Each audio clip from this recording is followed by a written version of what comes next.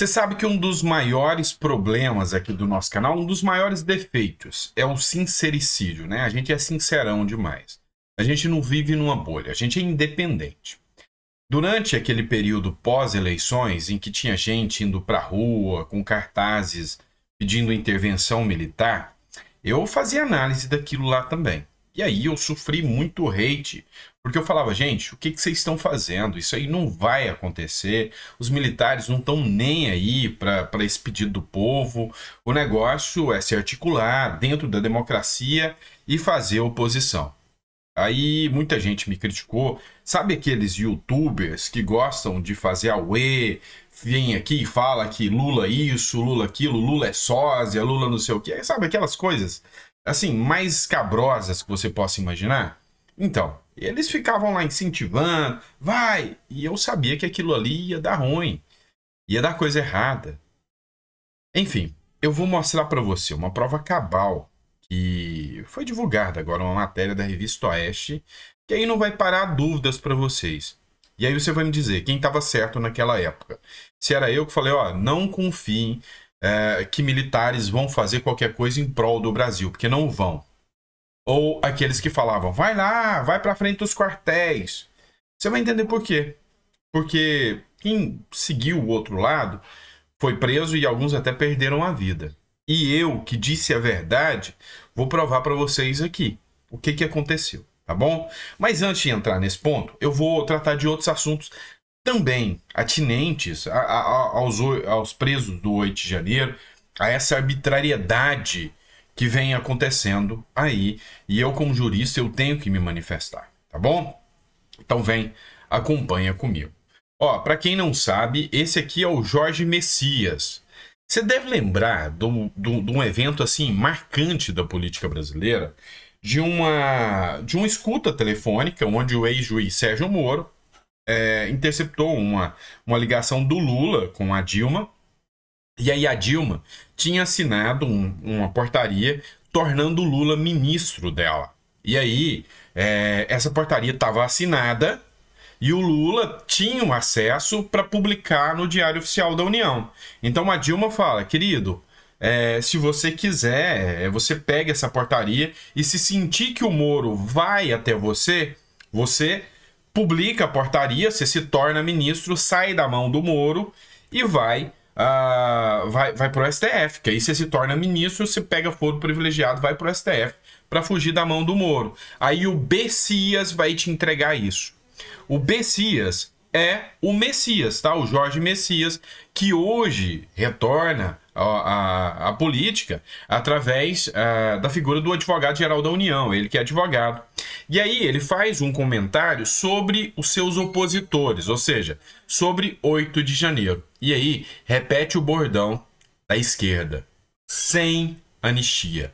Não vão perdoar, não vão dar trégua, não vão dar sossego para quem é opositor do regime Lula. O advogado-geral da União, Jorge Messias, foi às redes sociais nesta segunda responder ao editorial do jornal Estado de São Paulo. O veículo criticou a manutenção do inquérito das chamadas fake news e fez bem, muito bem o jornal, porque isso é um verdadeiro tribunal de exceção, que é considerado inconstitucional por juristas e tem sido estendido por anos, o que não é comum em um regime democrático. E eu sou sou dessa, dessa ala de juristas que critica a, as irregularidades e as ilegalidades que foram cometidas, inclusive, pela, pela Suprema Corte, como a, a incompetência para julgar o pessoal de 8 de janeiro, como a, o, o equívoco, o verdadeiro tribunal de exceção que se tornou esse inquérito das fake news, onde deu poder para o juiz ser o investigador, ser o acusador, ser o julgador e ainda figura como vítima às vezes. É, é tenso, é muito tenso tudo isso que está acontecendo. Ao longo da reportagem, o jornal, que já apoiou o tema em outras ocasiões, lembra quando eu falava para vocês que a água ia bater no bumbum uma hora? Criticou o sigilo do inquérito e a expansão aos poderes do Supremo Tribunal Federal. Desde que foi instaurado o inquérito das fake news, juristas listam uma série de ilegalidades do procedimento sigiloso, cujo relator é Alexandre de Moraes. Na esteira desse, o STF abriu o inquérito das milícias digitais também sigiloso, que ainda não foi concluído, que tem a presidência feita também pelo Alexandre de Moraes.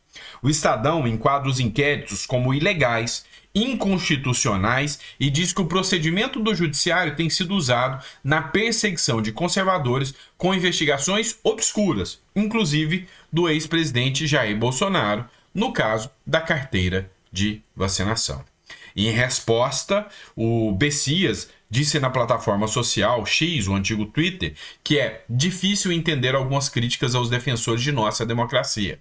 Ele também citou que os opositores atacaram a democracia e reforçou o coro do espectro da extrema esquerda. Sem anistia. Abre aspas.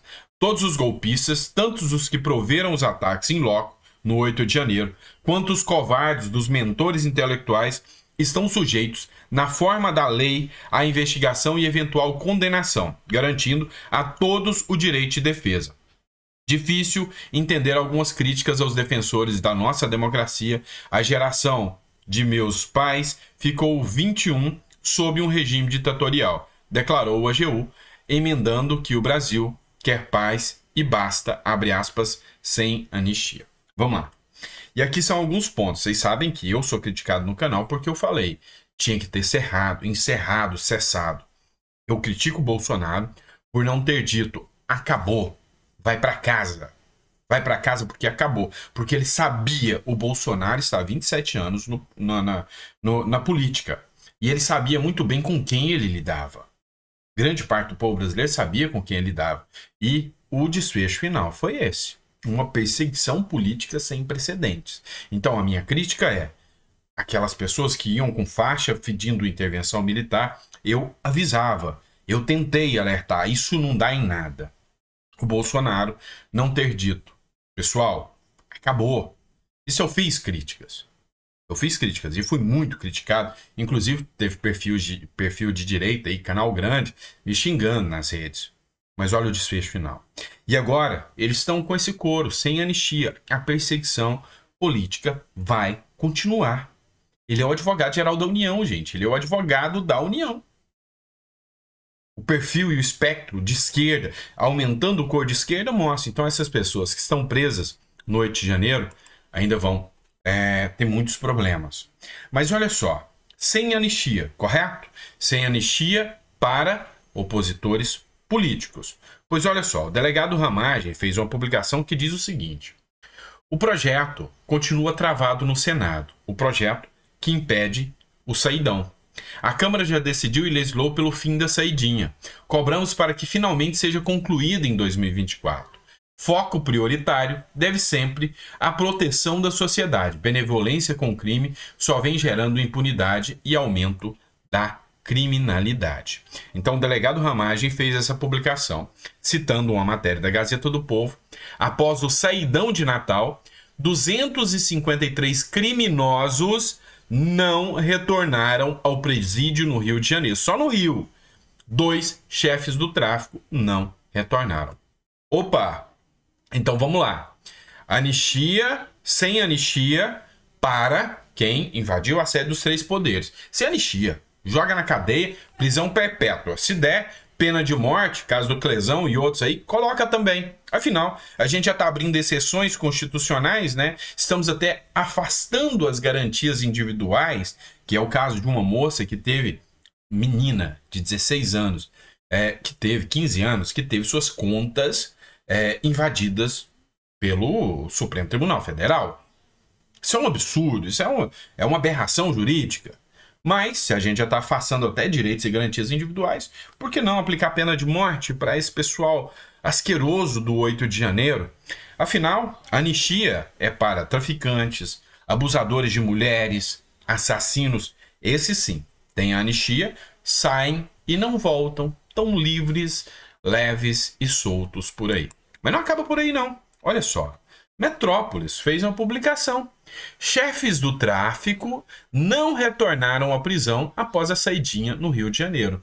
Chefes de facções criminosas, chefes de tráfico, chefes de PCC, Comando Vermelho e outras organizações do mesmo estirpe tiveram direito à saidinha, mas o Lula falou que do 8 de janeiro, esses sequer podem voltar à rua. Tá normal para você? Vamos lá. Se fosse o contrário. Olha, aquelas pessoas são petistas. Vamos pegar o Boulos, vamos pegar aquela turma, vamos pegar aquela turma da Alesp, vamos jogar na cadeia e vamos acabar com a vida deles, deixar eles presos 17 anos. Eu me oporia a isso. Por quê? Porque se é errado para um lado é para o outro também. E aí você distingue a moral das pessoas. A minha moral não permitiria ver um arbítrio, um, um, algo abusivo acontecendo. É por isso que eu fiz filosofia. E na filosofia, se tem uma coisa que a gente trabalha, é com a moral e com a ética. Então, eu não aceitaria de forma alguma. Mas a anistia não para por aí, não. Criminosos podem ter não só anistia, mas como incentivos para continuar cometendo crime? Pode. Se não, veja aqui, matéria da Revista Oeste. A volta do terror no campo. Sim, verdadeiros terroristas. Inclusive, o Paulo Bilinski, que é deputado federal, tentou enquadrar como crime de terrorismo. Com suporte do PT. Tanto é que militantes da, da esquerda, do MST, invasores de terra, chamam o governo petista de nosso governo. Com suporte do PT e cargos dentro do governo federal, o MST, que é o Movimento Sem Terra, avança contra o setor produtivo e acumula mais de 70 invasões de terra só em 2023. E o pior, o líder do movimento dos trabalhadores sem terra, que é o João Stedley, distribuiu uma mensagem de Natal na semana passada, disse que 2023 foi o pior ano para o seu grupo fora da lei em quatro décadas. Pois é. O que, que, ele imaginava? O direito livre e restrito de invadir qualquer lugar, qualquer casa, qualquer fazenda, qualquer área? O que, que um povo desse espera? Então, assim, nós precisamos colocar a nossa voz, a nossa voz em evidência. E agora, vamos falar sobre os militares, né? Vamos falar sobre aquele ponto que você me critica. Quando eu falava, olha, gente, Abram os olhos. Vejam que os militares não são o que vocês esperam. Vocês acham que é, os militares de hoje têm aquela, aquela, aquela honra de antigamente, que não participam da política? Não, não é a mesma coisa. E eu tentei alertar vocês. E aí, o idiota é sempre aquele que tenta falar a verdade, não é isso? Dá uma olhada. Ontem, só para constar, ontem eu trouxe um editorial para vocês onde eu falei que o ministro do Supremo Tribunal Federal, Alexandre de Moraes, pediu para instaurar o um inquérito das fake news para minar a força de Bolsonaro. Pediu para quem? Para o alto comando do Exército. O mesmo Exército que você ia com faixas pedindo intervenção deles. Intervenção do Exército e intervenção do Lula é a mesma coisa não mudou. Você conseguiu a intervenção militar que você pediu. A intervenção militar, você conseguiu. Os militares estão com Lula. Eles estão no poder. E você conseguiu a intervenção. É para mostrar que talvez nem tudo que parece é realidade. E olha só isso aqui. Servidores do executivo ganharam mais de um milhão em salários em 2023. E, inclusive, tem gente do exército no meio disso aqui.